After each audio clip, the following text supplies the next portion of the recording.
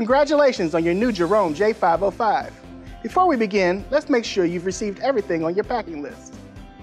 The accessory kit for the J505 includes a 3-foot line cord, one pack of five Fritware filters, tweezers, a USB flash drive, an AC adapter power supply, a probe, a quarter inch to 1 8 inch tubing adapter, and a zero air filter. To power up your new Jerome, press the power key in the upper right hand corner of the instrument's keypad. The startup screen will appear showing the current software revision.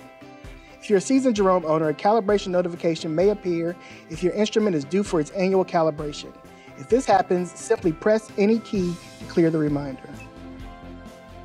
Once the main screen appears, take note of the battery indicator at the top center of the screen.